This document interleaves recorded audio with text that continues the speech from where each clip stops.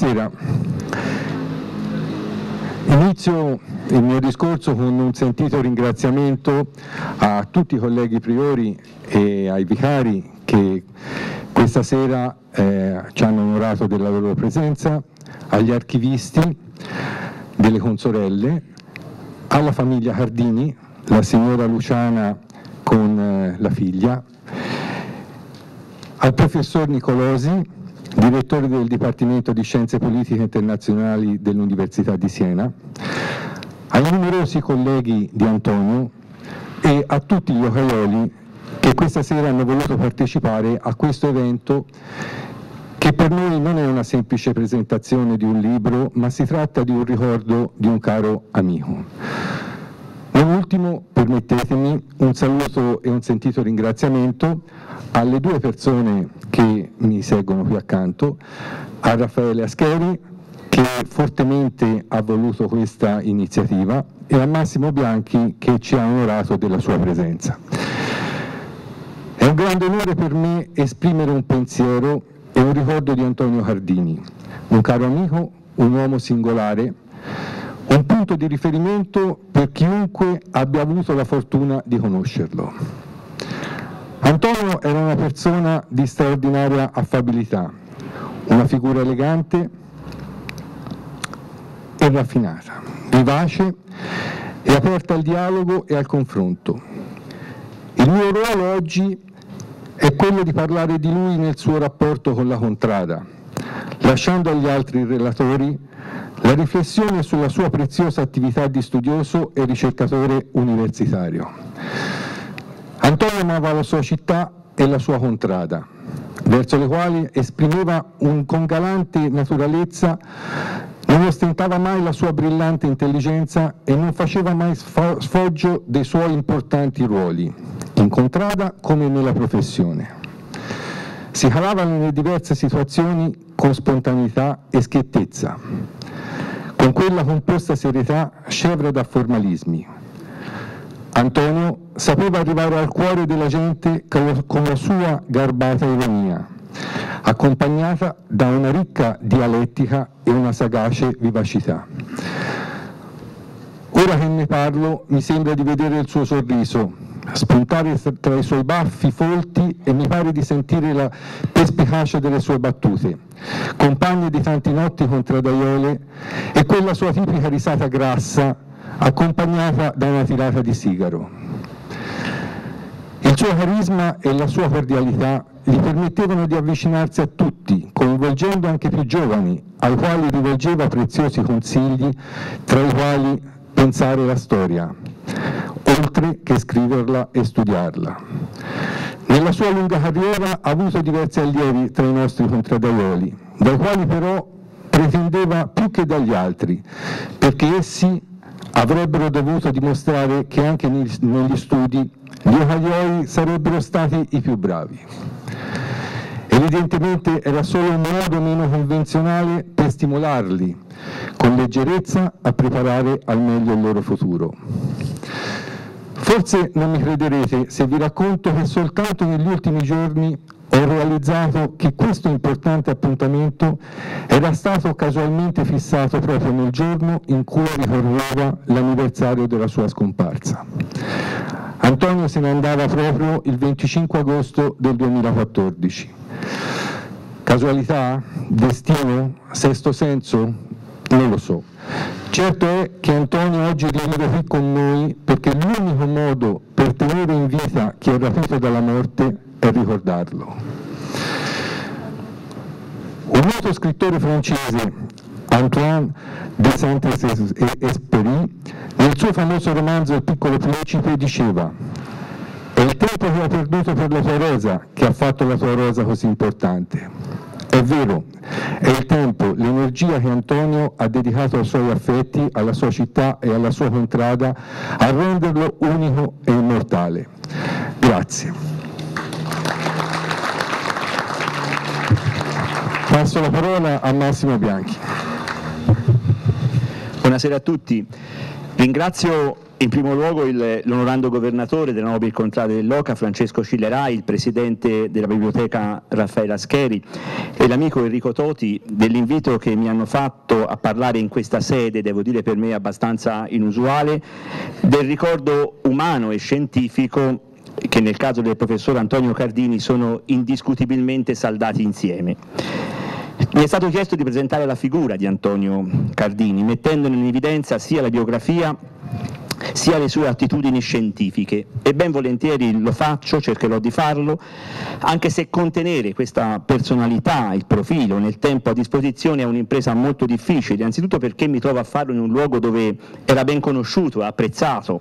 come la sua contrada e poi perché significa riassumere una lunga esistenza, purtroppo non anagraficamente, ma assai densa di rilevanti contenuti scientifici, di esperienze di ricerca, didattiche, di governance a vari livelli dell'Università di Siena, che possiamo definire senza timore di smentita essere il suo Ateneo, nel quale ha percorso tutta la vita accademica e universitaria. Ringrazio di aver scelto anche me, fra i tanti allievi di Antonio Cardini, e che Antonio Cardini ha avuto di, la, la, diciamo così, l'occasione di incontrare nel suo cammino accademico, primo fra tutti il professor Stefano Maggi, ma anche il professor Saverio Battente, la professoressa Eleonora Belloni, che ancora meglio di me avrebbero potuto assolvere questo compito. Con alcuni di loro peraltro abbiamo avuto occasione di eh, ricordarlo in altre occasioni organizzate dall'Università, dall'Accademia degli Intronati, in particolare con Stefano Maggi, ricordo eh, ehm, abbiamo redatto poco dopo la sua scomparsa la sua completa bibliografia per una memoria pubblicata su Studi Senesi nel bullettino senese di Storia Patria e con Enora Belloni per un lavoro molto attento di schedatura della sua biblioteca personale che la famiglia ha poi voluto donare in un fondo appositamente intitolato alla biblioteca del circolo giuridico e in parte al comune Dipartimento di Scienze Politiche Internazionali. Ricordo poi tanti vari interventi svolti in occasione della dedicazione della sua, alla sua memoria della, dell'aula magna della facoltà di scienze politiche al presidio Mattioli, di cui aveva seguito anche materialmente i lavori e la progettazione, sia durante la consegna di una grande parte appunto dei suoi volumi, dei suoi libri, a quel circolo giuridico che lui aveva quotidianamente frequentato per tutta la sua vita. Interventi svolti anche in quelle occasioni con grande competenza, ma anche con l'affetto derivante da lunghi anni di amicizia comune da parte di Mauro Moretti, Saverio Battaglia, Attente, Maurizio degli Innocenti, Paolo Nardi e Giovanni Minnucci.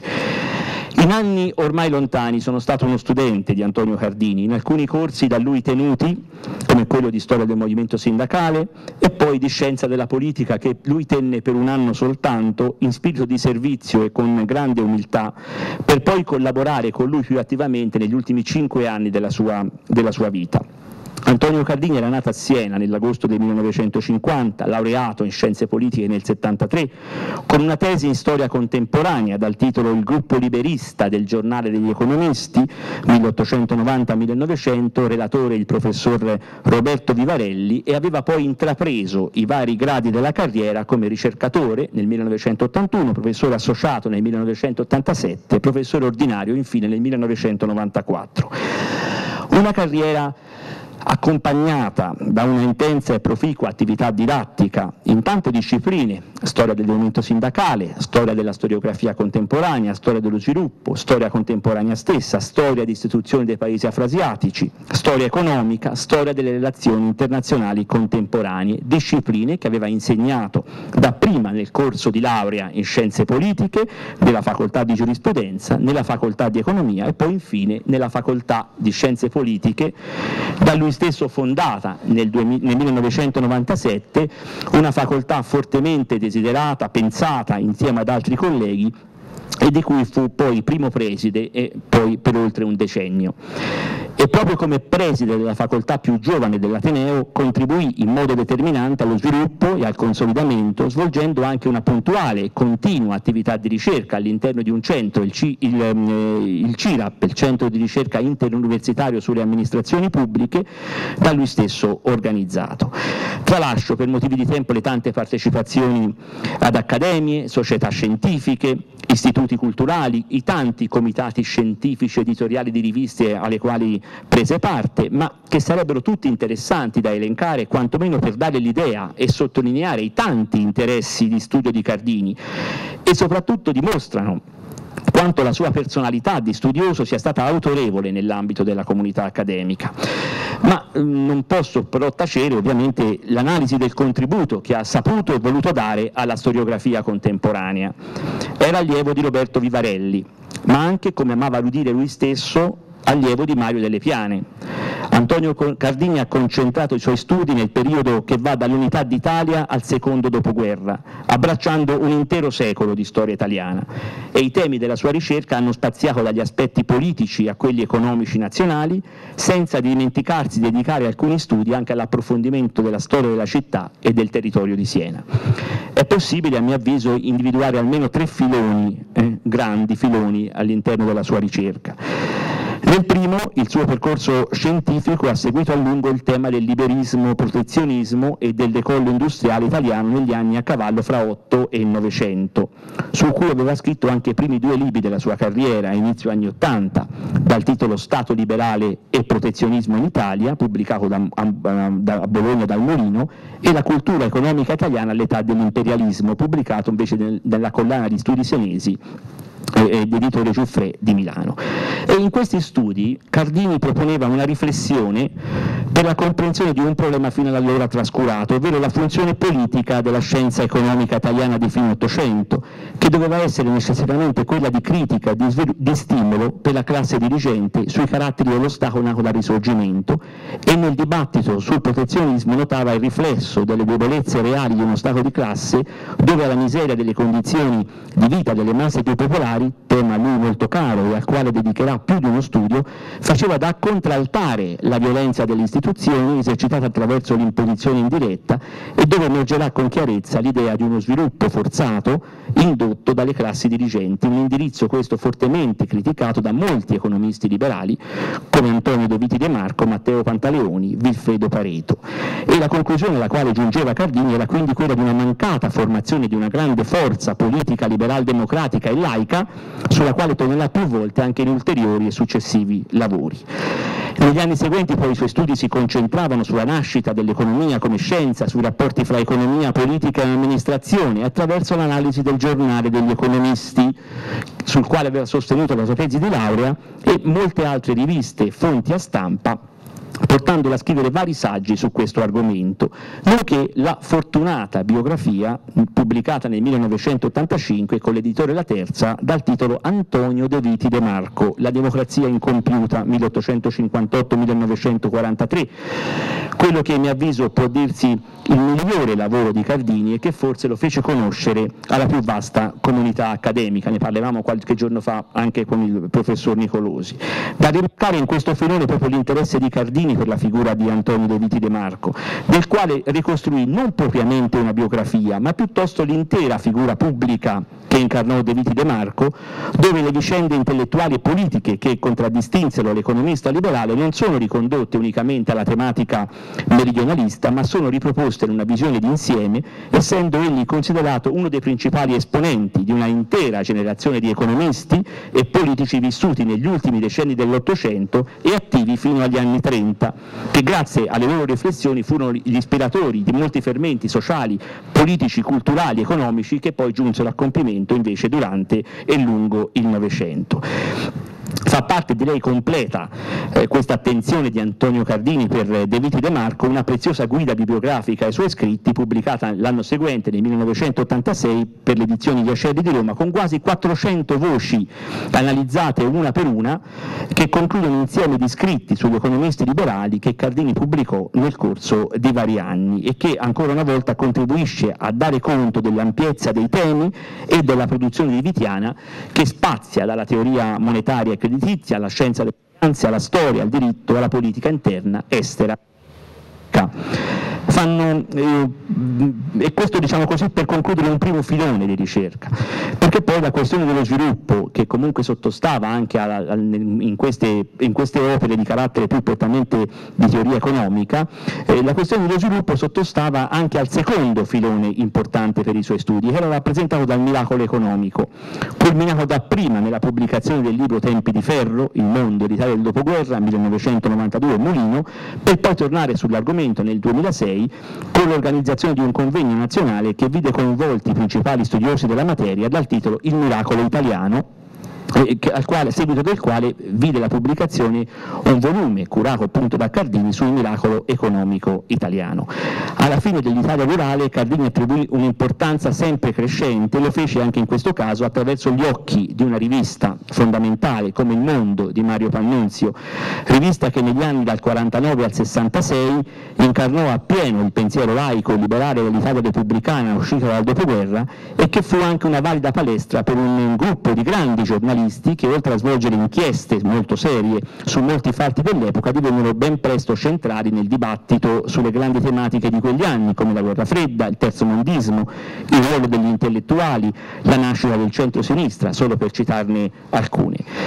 Cardini analizza molto bene il tentativo del mondo di affermare una cultura politica laica di stampo occidentale, riformatrice, che non ebbe però la fortuna o la capacità di inserirsi stabilmente in mezzo ai due blocchi di ripartizione di allora del potere fra cattolici e comunisti e registra il fallimento della formazione di una nuova classe dirigente liberal-democratica e di ispirazione occidentale che potesse governare dai ruoli chiave il processo di modernizzazione del Paese,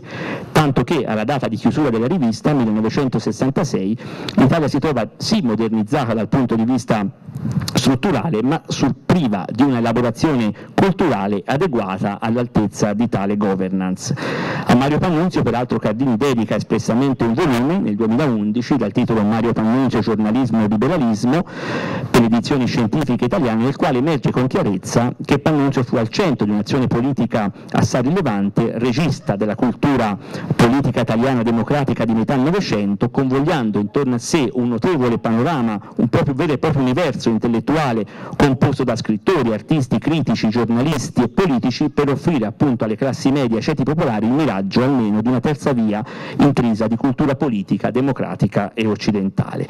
E, ehm, il volume miscellaneo invece cui, di cui Cardini fu curatore sul miracolo economico ci offre invece una chiave di lettura assai utile per comprendere il Novecento italiano attraverso il fenomeno dell'industrializzazione che anche in Italia conobbe una crescita esponenziale dopo l'attuazione del piano Marshall, l'inserimento del Paese nel contesto della scelta occidentale del 1948 e nel più vasto quadro dell'economia europea e internazionale. Da allora crescita produttiva. Significò per l'Italia anche una profonda trasformazione sociale che doveva investire tutti i settori,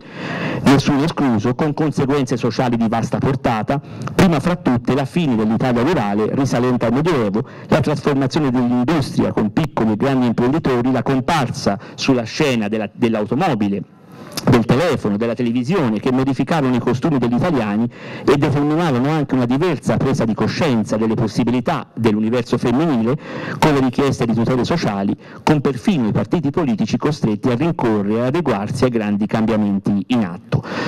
E un ultimo filone di ricerca, come già accennato, è stato poi quello della storia locale, da considerarsi un vero e proprio tributo alla sua città. Nel corso degli anni Cardini dedicò infatti tanti saggi eh, con argomenti vari, anche diversi, assieme al suo territorio. Fra questi si ricordano tra gli altri un paio di importanti volumi, la curatela del 2004 intitolata Il suono della lumaca, i mezzadri nel primo Novecento, che analizzava le campagne senesi e che denota il grande interesse di Cardini per il tema del rapporto con la campagna, in particolare con questo istituto della mezzadria, e che a partire dal caso senese riesce a inquadrare nel più vasto problema dell'Italia rurale. È una raccolta di articoli rielaborati in una visione d'insieme dal titolo Storia di Siena dal risorgimento al miracolo economico, eh, edita da Nerbini Firenze nel 2009, di cui poi ci parlerà più diffusamente Raffaele Ascheri.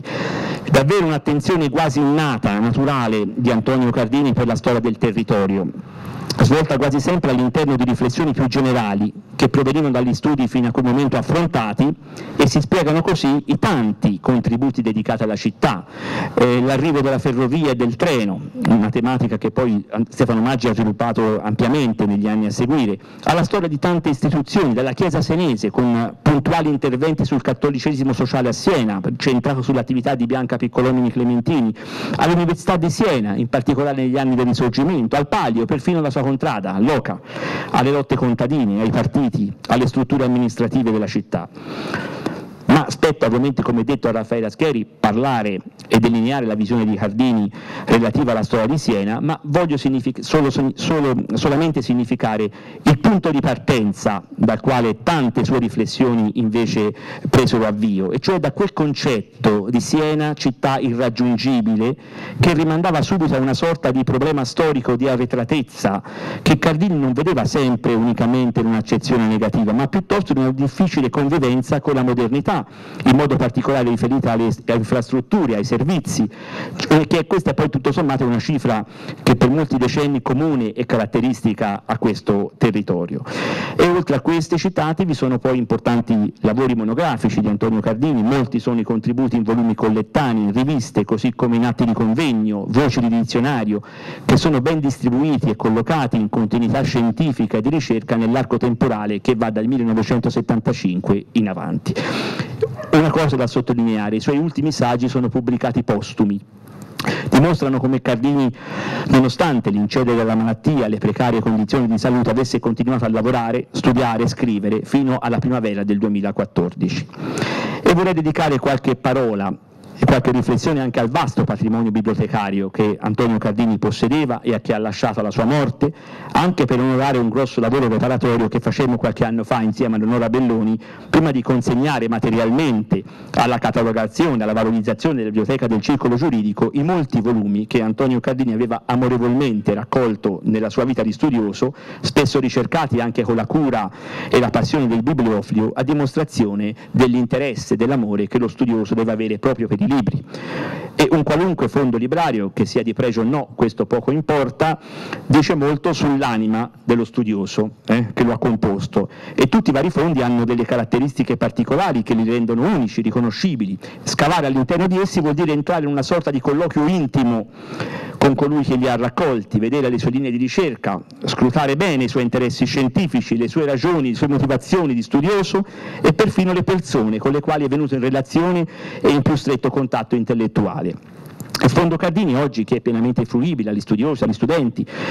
si distingue per essere in gran parte composto da libri stampati da grandi case editrici che, eh, che pubblicano solitamente testi universitari, La Terza, Mulino, Angeli, eh, Feltrinelli, Marsilio, Carocci e tante altre case editrici italiane e straniere. È un fondo importante però soprattutto per le tante collane prestigiose dell'Archivio di Stato, ricche di inventari di grande valore, che per le pubblicazioni e anche per pubblicazioni su fondi appartenenti a tanti piccoli archivi locali. Così è importante anche per le tante pubblicazioni di quella che viene comunemente detta e chiamata letteratura grigia, cioè quei testi non pubblicati attraverso i normali canali del commercio librario, ma diffusi dagli stessi autori o dagli enti che li producono. Come ovvio, molti di questi materiali non erano neppure presenti nel circolo giuridico e quindi oggi vanno a integrare una già vasta ma, mole e massa documentaria. Il fondo Cardini è poi particolare perché testimonia i tanti interessi di un docente che spaziavano dalla storia dell'età moderna a quella contemporanea, fino ad arrivare anche alla instant history, cioè la, history, la storia del momento. Dalla, spaziavano dalla storiografia alla storia delle relazioni internazionali, alla storia dei sindacati, dei movimenti politici, vi, so, vi si trovano volumi di storia della Chiesa, dei movimenti cattolici, sul Concilio di Trento, eh, sui grandi santi come Ignazio di Loyola, Santa Caterina da Siena, magari accanto a volumi anche di storia dell'Islam, molti volumi che riguardano la storia del fascismo, molti volumi su tanti economisti, Marx, eh, Salvemini, Rosselli, eh, Luzzato, Verri, De Felici e tanti altri. La storia dei partiti è largamente presente in Cardini, ma il fondo Cardini si caratterizza anche per i tanti studi in onore di colleghi, per le pubblicazioni minori anche di volumi a tiratura limitata sono opere queste poco diffuse, anche queste sul mercato editoriale, che attirano quindi l'interesse di tanti studiosi. Di particolare importanza sono poi i libri di storia locale, eh, frutto di omaggi, come si legge dalle dediche e degli autografi presenti, eh, ma anche risultato molto, molto, molto spesso di oculate acquisizioni nel mercato dell'usato, come si vede da alcune annotazioni al lapis presenti in, eh, provenienti da qualche libreria antiquaria. E sono proprio queste pubblicazioni minori che parlano di tanti argomenti, parlano di migrazioni, di letteratura, del mondo contadino, della mezzadria in Toscana, dei conflitti sociali, dei primi scioperi, a dare un particolare sapore o anche una particolare fisionomia a questo fondo. Ci permettono cioè di dare risalto a quella microstoria eh, che viene da racconti, ma anche dall'analisi dei dati stessi, perché non si può fare molte volte una seria ricerca macrostorica senza l'attenzione precisa, puntuale e documentata ai fatti della microstoria. E come conclusioni possiamo e posso sicuramente affermare Antonio Cardini è stato un grande studioso, uno studio faticoso, a tratti molto duro, che portò avanti nonostante i tanti impegni di governo e amministrativi che assunse e nonostante, voglio dirlo anche con forza e chiarezza, le dure prove e preoccupazioni per la salute che egli seppe da subito affrontare con tanto coraggio, straordinario coraggio, da cristiano autentico. Il mestiere dello studioso, lo sappiamo, si deve esercitare in solitudine, al fine di raggiungere la massima concentrazione possibile, ottenere anche dei buoni risultati. Ma quando si lavora in silenzio, lo sappiamo, è più facile essere assaliti dall'angoscia, dalle preoccupazioni, anche se la passione per le indagini sulle fonti storiche, il gusto per la scoperta del nuovo e dell'inedito che guidano sempre chi fa ricerca, possono essere un efficace antidoto anche ai, ai pensieri più tristi. E Antonio Caldini, pur sottoponendosi ai, alle tante cure ai controlli che gli venivano imposti periodicamente anche fuori Siena, non si abbandonò mai allo sconforto né trascurò il suo lavoro, ma continuò a svolgerlo anzi con grande entusiasmo, conseguendo importanti risultati, come dimostrato, come abbiamo visto dalla sua produzione scientifica molto vasta. Come non spaventarono mai tanti delicati compiti di governance dell'Ateneo, che gli venivano affidati proprio per le sue capacità riconosciute. Trovava ancora infatti il tempo per studiare, per pubblicare, con una grande capacità di conciliare ricerca e impegni accademici. Negli ultimi incontri nella sua abitazione privata era molto triste, eh, perché era stato costretto a chiedere il pensionamento anticipato e questo significava per lui dover rinunciare alla sua principale vocazione, quella dello studioso e al piacere di scrivere ancora. In quegli ultimi incontri mi ricordo non, non, non tralasciavamo mai di parlare di Palio, eh? era una delle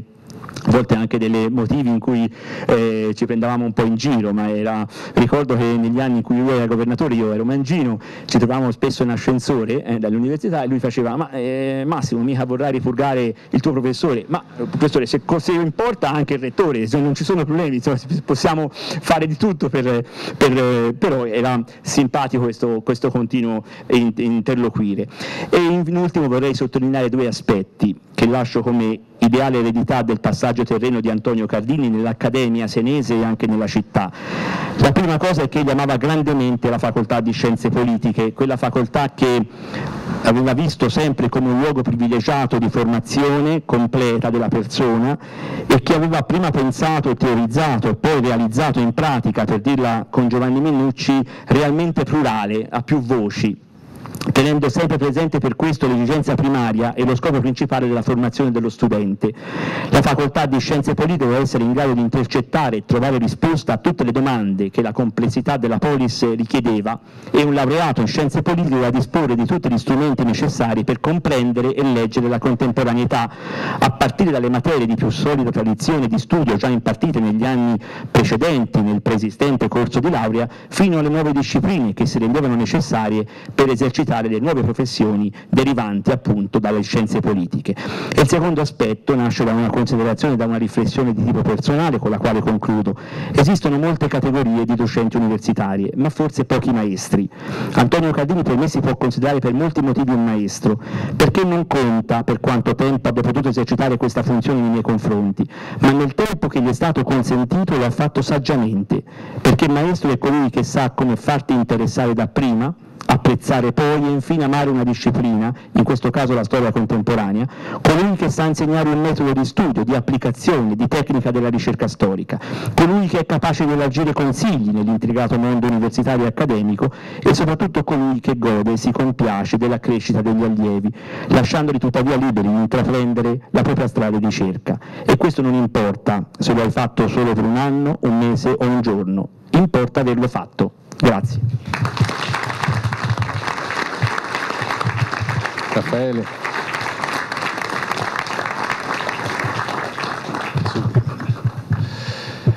Buonasera a tutti e i ringraziamenti sono già stati fatti, quindi sarebbe veramente eh, pleonastico ripeterli. Posso dire, eh, credo eh, di non essere solo a pensarlo, che eh, è una bella serata, è un bel pomeriggio e, e, questo ci fa piacere perché ci dà la possibilità appunto di eh, ricordare una figura come tante altre ovviamente, ma oggi stasera è di lui che parliamo, che ha reso eh, Siena più, eh, credo si possa dire, degna di essere vissuta, perché quando una persona eh, impiega buona parte della sua esistenza a eh, spiegare, a far conoscere meglio la realtà in cui si vive, è sempre una persona benemerita. Questo a prescindere da tutto quello che Massimo Bianchi ha detto eh, dal punto di vista accademico e anche umano su Antonio Cardini. Ma io, eh, come ha accennato lui, eh, accennato Massimo, ho il eh, grato, lieto compito di parlare mh, molto sinteticamente di un libro che forse a livello di storia locale rappresenta un po' la sintesi di quella che appunto era la visione di Antonio Cardini sulla storia eh, municipalistica eh, della città. Questo libro, La storia di Siena dal risorgimento eh, al, al miracolo economico, quindi una periodizzazione che è molto chiara, un secolo, questo non è un secolo breve perché 1861-1900 1961, quindi un secolo pieno, ma mh, mm, si va anche ad anticipare ovviamente e si va anche un po' oltre, anche se come ha detto Massimo poi al 70 sostanzialmente in questa raccolta di saggi ci si ferma, quindi crocianamente ci si ferma sostanzialmente a 50 anni eh, fa e quindi quello che eh, secondo il Benedetto Croce della teoria e storia della storiografia è il limite corretto eh, per poter fare storia senza avere una passionalità troppo eh, accesa. Ma due parole a quello che ha detto Massimo eh, mm, proprio sullo stile, lo vorrei aggiungere sullo stile che aveva, si legge in questo libro e negli altri scritti che ho avuto modo di eh, consultare, Massimo sicuramente eh, ne ha consultati di più.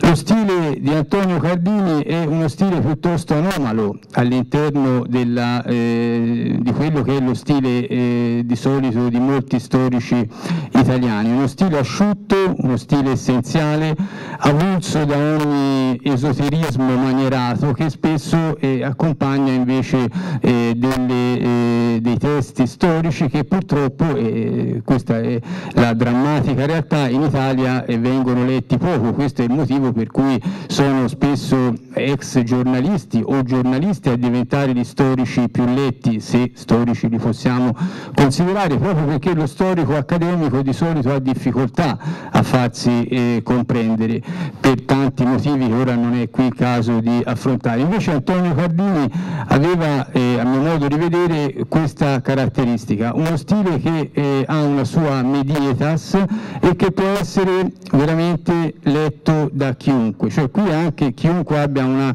cultura media può veramente entrare eh, nel cuore dei problemi. Se avesse usato un po' di humor e di storia virtuale sarebbe stato un perfetto storico inglese, storico anglosassone, ecco, ma eh, la linea tendenziale dal punto di vista eh, stilistico è questa. E soprattutto, prima di dire quali sono i tre argomenti fra i tanti che sono andato a eh, diciamo, scegliere eh, e di cui vorrei parlarvi, il discorso anche dell'onestà intellettuale. Ecco, chi eh, come Massimo per motivi professionali, per passione, chi mh, frequenta la storia senese sa che ci sono alcuni passaggi in questo periodo, appunto 1861, 1960, 70, che sono quelli che se uno li va a cercare capisce subito l'impostazione e l'onestà intellettuale dello storico che ne sta scrivendo. Eh, in qualche occasione inevitabilmente la faziosità di parte prende il prevale, prende il sopravvento su quello che dovrebbe essere eh, l'equilibrio. Ecco, io, avendo ormai un po' di esperienza in questo senso, sono andato a controllare questi passaggi, a leggermeli, a rileggermeli Antonio Cardini aveva un equilibrio raro e quindi un'onestà intellettuale rara nell'affrontare questi passaggi. Eh, chi è diciamo, eh, del, del, settore storico si può immaginare quello a cui faccio riferimento, ma qualche cosa dirò eh, anche appunto nella scelta di questi tre argomenti da, da trattare molto rapidamente e vorrei iniziare appunto a dire qualcosa che riguarda una vicenda poco conosciuta all'interno della eh, storia della Chiesa senese, ma siamo nel cuore dell'Ottocento. Poi vorrei soffermarmi eh, sempre rapidamente su quello che era il clima e anche il clima, i risultati elettorali che ci furono esattamente un secolo fa, qual era la situazione politica cittadina esattamente nel 1920. Quindi un secolo or sono. E poi quello che, eh, come ha accennato anche Massimo, è uno dei punti a mio modo di vedere più convincenti dell'opera eh, eh, all'interno dell'opera di Antonio Cardini, la Siena fra il 45, data assolutamente periodizzante, e il 1970, che tra l'altro, come dirò dopo, è il momento in cui, questa è una cosa da ricordare, Siena ha censimento alla mano è eh, il momento in cui Siena ha più abitanti, mai sono stati, eh, da quello insomma, che risulta, più numerosi di quanto eh, fossero nel 1971. Allora, il primo di questi argomenti eh, concerne questa eh, polemica, questa querelle che ci fu tra un eh, prete di campagna, un prete diciamo di periferia si potrebbe dire oggi, e il vescovo di Siena di allora. Siamo a metà del, degli anni 50 del 1800 e c'è un contrasto che mh, è molto interessante perché, come sempre fa eh, Antonio eh, Cardini, ovviamente questo contrasto è del tutto locale, ma eh, eh ha una ripercussione, riflette, eh, riverbera tutto quello che è il clima nazionale, per non dire in qualche modo anche internazionale. Parroco di Santa Petronilla, eh, Carlo Sancasciani, è uno dei parroci di idee, di sentimenti liberali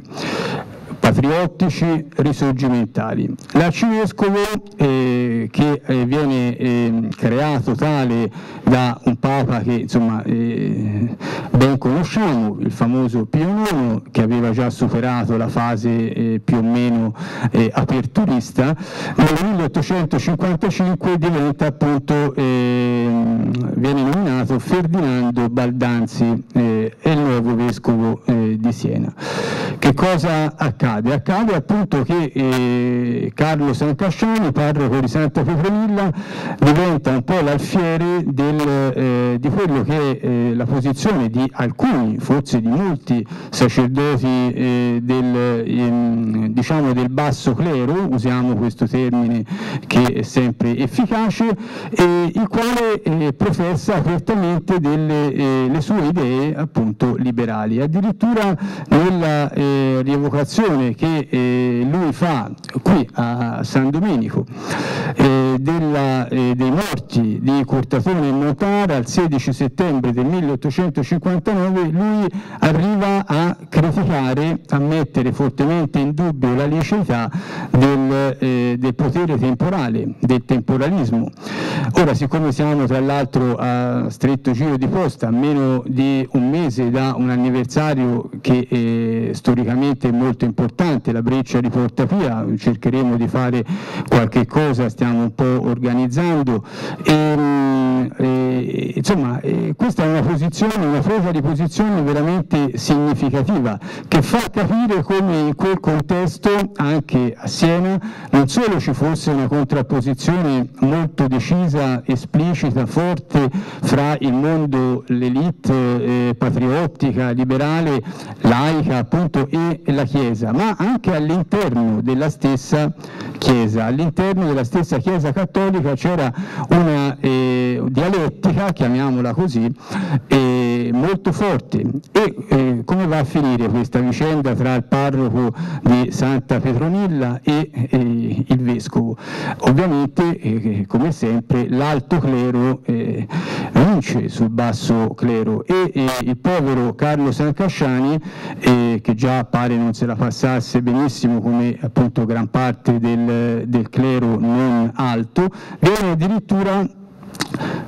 sospeso a divinis, quindi c'è un intervento eh, drastico, veramente drastico, che fa capire veramente una dinamica molto polemica. Peraltro eh, dobbiamo dire che per mera curiosità il vescovo Ferdinando Baldanzi, morendo nel 1866, non avrà per lui la sventura appunto di assistere alla breccia di Porta Pia appunto 20 settembre 1870. Ecco questo è uno dei tanti esempi che eh, Antonio Cardini eh, tira fuori dal, dall'Ottocento senese, qui in quattro pagine, tre quattro pagine riesce a darci un quadro con delle eh, pennellate veramente eh, anche ripeto dal punto di vista della narrazione, della, dello stile eh, storiografico in ineccepibili e che fanno veramente, mettono in relazione quella che è una vicenda meramente locale appunto tra un parroco di periferia e il suo vescovo, ma la inquadrano in un contesto che è quello appunto che ho cercato di delineare. Secondo, eh, secondo eh, passaggio, dall'Ottocento, dalla seconda metà dell'Ottocento alle elezioni del 1920. Sì, a Siena si votò, non, non per le regionali ovviamente, ma eh, fu anno elettorale e qui è un anno, è un passaggio assolutamente eh, fondamentale perché eh, quello che viene fuori dopo dal punto di vista eh, della eh, classe che aveva sempre avuto il potere eh, in città e eh, ovviamente attraverso eh, la sua azione di potere nelle campagne, l'aristocrazia inizia ad avere, eh, ad avere paura. Nel 1919 a livello nazionale elezioni col sistema proporzionale che vedono anche nel senese una vittoria clamorosa del Partito Socialista, quindi eh, una sinistra che è ancora unita perché, eh, come si ricorderà, la scissione poi eh, livornese fra socialismo e eh, Partito Comunista è del gennaio del 21. Allora la paura veramente è il caso di dire, mm, non so se si possa dire fa 90, ma di sicuro permette quello che è un, un qualche cosa di clamoroso a livello eh, politologico, perché praticamente assistiamo a una situazione in cui tutte tutti, dico tutte, anche gente che eh, da quello che si capisce se ne era dette un po' eh, di tutti i colori, vedete che la storia poi eh, si può ripetere, si mettono insieme tutte le forze politiche locali e bloccano, come si dice, creano un blocco contro, eh, la, eh, contro il rischio eh, socialista. La vittoria a livello locale diventa appannaggio del blocco quindi il, dal punto di vista eh, diciamo dell'aristocrazia e di parte della borghesia il pericolo rosso del sovversivismo rosso è stato bloccato. È una provincia in cui Ecco, questo è interessante perché praticamente se andiamo a fare eh, una comparazione con l'oggi, sostanzialmente è esattamente come oggi, nel senso che abbiamo eh, la provincia con 30 comuni su 36,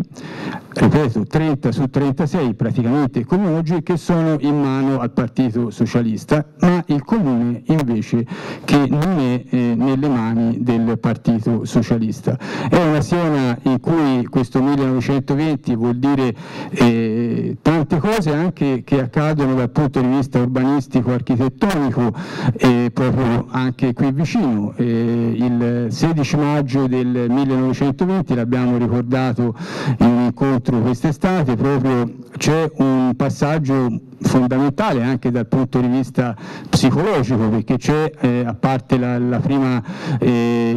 primo, la, piccola rottura che c'era stata a San Lorenzo per la costruzione della ferrovia, della prima ferrovia, ma eh, per la prima volta le mura vengono buttate giù. E San Prospero inizia a essere edificato dopo che domenica 16 maggio del 1920 eh, accade questo, viene, buttato giù quel tratto di mura che dalla fortezza eh, diciamo, toccava quello che oggi è eh, un'attività commerciale per capirsi. E quello è un elemento storico importante perché nasce eh, San Prospero, nasce San Prospero Alta e il sindaco era eh, di una famiglia che per la contrada che ci ospita ha un, diciamo, una qualche importanza, Pannocchieschi Delci, Emanuello Pannocchieschi Delci che eh, fa un discorso ovviamente celebrativo e tira fuori eh, l'espressione eh, Sena Vetus Nova che sembra è in qualche modo un simbolo ma fa capire che il vecchio, il Vetus si eh, va a coniugare con il nuovo perché eh, il nuovo è l'apertura a questo stile eh, che è lo stile Liberty e che tra l'altro ricorda certi stilemi architettonici urbanistici inglesi che ancora oggi ovviamente si possono ben eh, vedere. Quindi eh, vedete eh, quello che accade nel 1920 alla fine quindi della prima guerra mondiale è un primo passaggio, un primo snodo assolutamente importante. La città è nella sua maggioranza il capoluogo di provincia si dimostra in maggioranza ovviamente moderata e la provincia rossissima, la più rossa d'Italia, ma ovviamente è una base operaia ancorché ridotta però c'era, c'era l'importanza della, della della ferrovia e quindi di, tutto l'indotto ferroviario, eh, Massimo Bianchi ha giustamente ricordato gli studi del professor Maggi da questo punto di vista, Siena che a metà dell'Ottocento era stata una città all'avanguardia dal punto di vista ferroviario, poi le cose purtroppo si sono fermate eh, lì al, al, 1849 o eh, poco oltre. Però questo, ecco, ripeto, il 1920 è un eh, passaggio veramente veramente eh, importante. E poi si arriva a quello, come dicevo, terzo punto eh, e ultimo, la Siena del eh, 1945, 45 poi 70 e qui c'è il passaggio decisivo. Se Siena ha attraversato tutte le eh, rivoluzioni in modo forse rispetto ad altri centri della stessa dimensione piuttosto sonnacchioso, ecco la rivoluzione che non si chiama rivoluzione ma il passaggio del 45 è un passaggio fondamentale, 44 ovviamente c'è la liberazione ma insomma la fine della seconda guerra mondiale, quella è quindi 45 è la data assolutamente decisiva, è quella che segna veramente per la città un passaggio dal prima al dopo, da un ante, dall'ante al, al post. Dal punto di vista economico, perché cambia quello che era l'assetto che andava avanti e che era andato avanti anche dopo il 1820, dopo il fascismo, durante il fascismo, si passa, e Antonio Pardini anche qui con intelligenza e acutezza lo fa notare, si passa, cosa abbastanza rara, dal sistema, eh, diciamo, dal primario, dall'agricoltura dominata dal sistema mezzadrile, si passa senza soluzione di continuità al terziario, praticamente quasi si salta, quasi perché appunto delle eccezioni ci sono, il settore secondario, l'industrializzazione, quindi questa è un'anomalia, forse una delle tante di questa città e del suo sviluppo, dal settore primario quindi alla terziarizzazione diffusa che poi è quella che fino ad ora più o meno è andata avanti, ora qui eh, si naviga un po' a, a mare aperto, diciamo così. C'è però attenzione perché qualche tentativo, oltre a quello che già era stato fatto agli inizi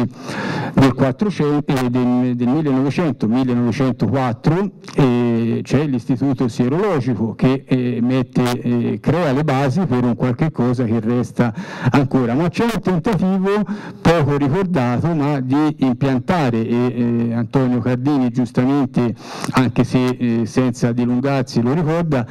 di portare l'industrializzazione in città nei suoi dintorni. L'Ignis 3 ottobre 1967 quindi qualcuno magari si ricorderà anche l'evento, noi no perché siamo tutti più giovani, ma eh, eh, Aldo Moro Giulio Andreotti si scomodarono per venire a Siena a inaugurare questo eh, stabilimento che però poi non portò quello sviluppo che ci, che ci, si sarebbe aspettati potesse portare. Però dal punto di vista economico mm, batte molto su questo Cardini, questo è il passaggio decisivo. Dal punto di vista demografico, anche questo per capire la Siena di oggi bisogna riandare a, eh, a quello appunto eh, a questo periodo vi accennavo prima, il picco assoluto di abitanti, censimento del 1971 e Siena arriva ad avere 66.000 eh, abitanti e questo è il, il, massimo. Ovviamente noi sappiamo che poi questi sono abitanti nel senso residenti formalmente, sappiamo che nel contesto eh, pratico Siena oggi gente che dorme in città probabilmente eh, ce n'è o ce n'era di più, ma questo, questi sono residenti a livello appunto formale e ufficiale. 66.000 abitanti che sono frutto di un inurbamento, di un inurbamento eh, che ha eh, veramente degli aspetti che andrebbero approfonditi ulteriormente, ma Antonio Cardini e altri eh, lo hanno già fatto e questo inurbamento porta una omogeneizzazione fra città e campagna che non c'era mai stata, perché non c'era assolutamente mai stata. Federico Tozzi, mi permetto di citare solo questo passaggio molto rapido, eh, anche perché quest'anno eh, sarebbe stato è l'anno del centenario, purtroppo il Covid ci ha impedito per ora di eh, celebrarlo degnamente, ma recupereremo. In Tre Croci eh, c'è questo passaggio che eh, Antonio Cardini eh, ricorda, ma questo è Tozzi. La campagna era di un'ampiezza che non finiva mai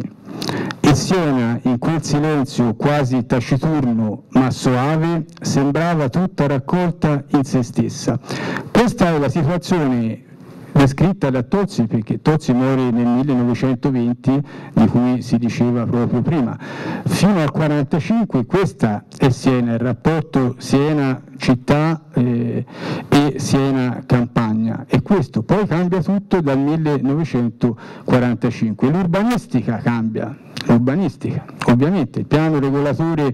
piccinato, lo sviluppo a nord-ovest della città che è uno sviluppo contrastato, è un piano regolatore contrastato perché eh, bisogna dire e mi fa piacere che eh, in questa storia di Siena Antonio Cardini, pur appunto figura eh, sul cui DNA contra Vaiolo nessuno eh, potrebbe dire niente, eh, però ha parole dure, a parole critiche con eh, le dirigenze di allora della, delle contrade, ovviamente non entra nel dettaglio, le quali dirigenze in larga parte agli inizi degli anni 50 volevano fare eh, fronte eh, rispetto a questo problema del, dell'inurbamento di massa con eh, uno sviluppo diverso da quello previsto da Piccinato e poi vincente, previsto da figure come Mario Bracci, Bianchi Bandinelli, insomma non proprio gli ultimi arrivati. Invece dello sviluppo a nord-ovest, lungo la direttrice nord-ovest, si voleva eh, costruire dentro, si voleva costruire a macchia di leopardo, eh, occupare le valli verdi, valle di Follonica per esempio, peraltro se ne parlava già dagli inizi del Novecento, ma la valle di Follonica e non solo quella è una valle che lì ha rischiato seriamente di vedere poi qualcuno può anche dire sarebbe stato meglio. E, ecco, eh, la Valle di Follonica ha rischiato concretamente e seriamente di diventare un quartiere, ma anche altre zone verdi all'interno del perimetro urbano. L'età che va dal 1950 al 1970, eh, ricorda Antonio Cardini, è l'età dei geometri. In che senso? È, eh, nel senso che eh, a Siena, nelle vicinanze ovviamente, nella periferia senese, non si era mai costruito così tanto in, in tutti i secoli precedenti rispetto al ventennio 50-70. Il resto, dicevo prima, eh, siamo al 70-71, sono passati 50 anni da ora e quindi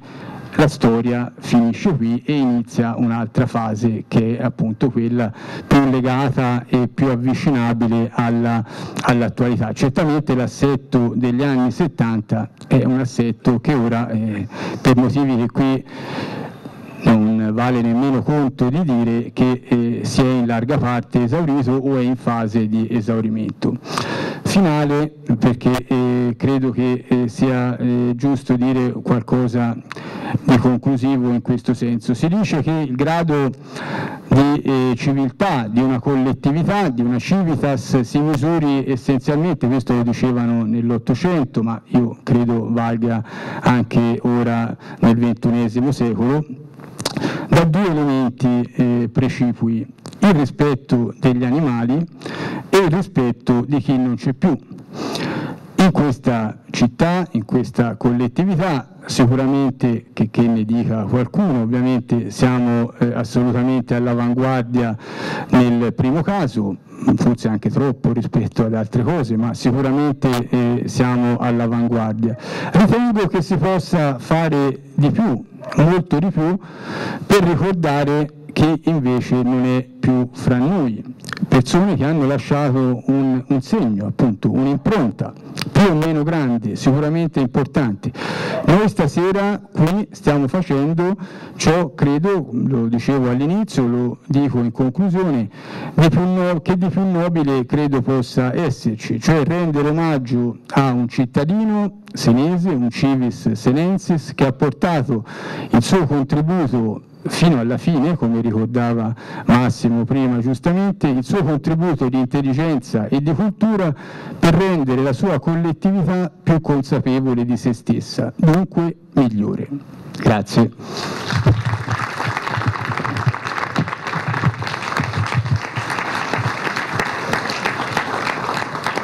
Bene, io eh, a questo punto gradirei se ci fosse qualche intervento da parte degli amici contradaioli, da parte dei colleghi eh, di Antonio, da parte della famiglia, se qualcuno vuole ricordare aneddoti, vuole peraltro anche interloquire per gli interventi che ci sono stati di Raffaele di Massimo. Sarebbe cosa gradita se ci fosse qualcuno che vuole intervenire. Professor Maggi. No, credo di dover dire qualcosa perché sono stato il primo allievo, sono stato il primo allievo che ci siamo trovati per caso, diciamo, io facevo il ferroviere per l'esattezza all'epoca. E gli andai a chiedere la tesi sulla storia dei ferrovieri e delle ferrovie a Siena, è da lì che poi viene la città ferroviaria che poi ho studiato dopo e che hanno ricordato sia Massimo sia Raffaele. Era appena diventato professore associato, era il 90, 90 era il 90, quindi, eh, 87, sì, quindi era professore associato da poco e andai chiedere la tesi. Da lì mi ha lasciato naturalmente un'impronta fondamentale perché per me è stato il maestro, il principale maestro, ma soprattutto mi ha lasciato libero di fare ricerche su quello che preferivo. Poi ha seguito un altro eh, settore, diciamo, che è quello del dibattito e invece a me a un certo punto, a distanza di anni, mi disse te invece non sei per il dibattito, sei per la storia pratica, cioè infrastrutture, quello che si fa, che io, non quello che si dice ma quello che si fa. Però ecco, al di là di questo ricordo personale voglio dire che è stato un maestro per tanti, anche per allievi che poi non hanno fatto la carriera accademica, eh, ma soltanto per studenti che sono laureati con lui e che ritrovo continuamente e lo ricordano con eh, grande, grande affetto. Eh, di continuo, me lo vengono continuamente a dire, ho fatto anche poi per sei anni il direttore del dipartimento di cui era stato direttore lui all'inizio, anzi ci teneva molto che facessi il direttore. E quindi ho, ho rivisto allievi eh, diciamo, laureati nel corso di tanti anni che lo ricordavano sempre con un enorme affetto. Ricordo soltanto alla fine che sarebbe stato ancora in servizio, cioè se non ci aveva lasciato prematuramente nel, nel 2014 lui sarebbe andato in pensione il 31 di ottobre del 2020, quindi sarebbe ancora con noi. Quindi questo eh, ricordo che avete realizzato credo sia importante anche per questo, eh, anche in questo senso diciamo, è il giorno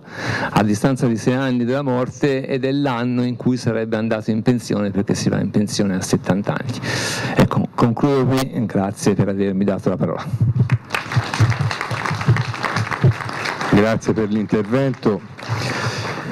A questo punto se non ci sono altri interventi ringrazio sentitamente Raffaele, Massimo per, eh, per questa loro presentazione che è stata veramente importante e che devo dire fa piacere anche alla contrada tutta eh, il ricordo di una persona eh, sicuramente come è stato detto da più parti una persona senz'altro gradevole, una persona bella, una persona buona, una persona eh, la, alla quale non si poteva che voler bene veramente. Grazie a tutti della partecipazione e, e buona serata.